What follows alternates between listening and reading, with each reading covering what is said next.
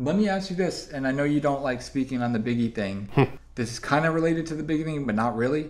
Um, uh, Wardell Fouse, um, known as Faust. Poochie, yeah, he was always rumored to be involved with the Biggie thing. Did you have? Um, uh, were you there, or did you investigate when he was murdered around? I think it was like 2001 or 2002.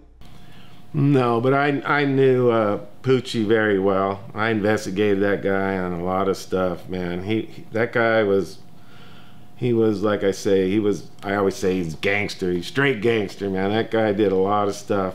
He was definitely an enforcer for Death Row Records. I investigated on a shooting earlier in his uh, career, his gang career, I would say.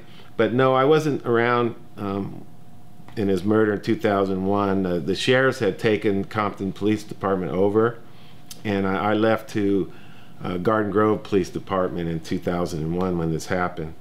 So I didn't have anything to do with uh, that investigation. Okay.